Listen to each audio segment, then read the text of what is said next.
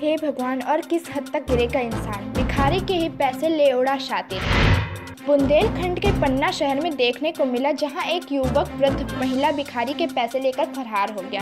एक वृद्ध महिला जो भिक्षा मांगकर अपना पेट पालती थी, अज्ञात व्यक्ति ने उसके पाँच हज़ार रूपए चुरा लिए। साथ ही उसके थैले में रखा राशन कार्ड भी ले उड़ा। घटना पन्ना कोतवाली थाना क्षेत्र के कालका मंदिर के पास ही घटी है। पास ही की घटना है, जहाँ राम सखी पति गरीबा निवासी पहाड़ी खेड़ा भीख मांगकर अपना गुजर बसर करती है। कुछ समय के लिए ये वृद्धा अपने स्थान से हटी थी। इसी बीच एक अज्ञात युवक आया और वृद्धा का थैला लेकर भाग गया।